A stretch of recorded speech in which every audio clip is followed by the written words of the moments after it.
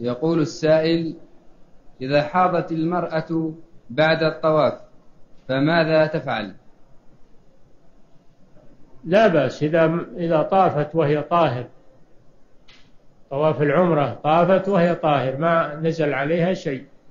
فعليها أن تكمل عمرتها عليها أن تسعى وأن تقصر وعمرتها صحيحة لأن السعي لا تشترط له الطهارة. نعم. والتقصير لا تشترط له الطهارة. نعم.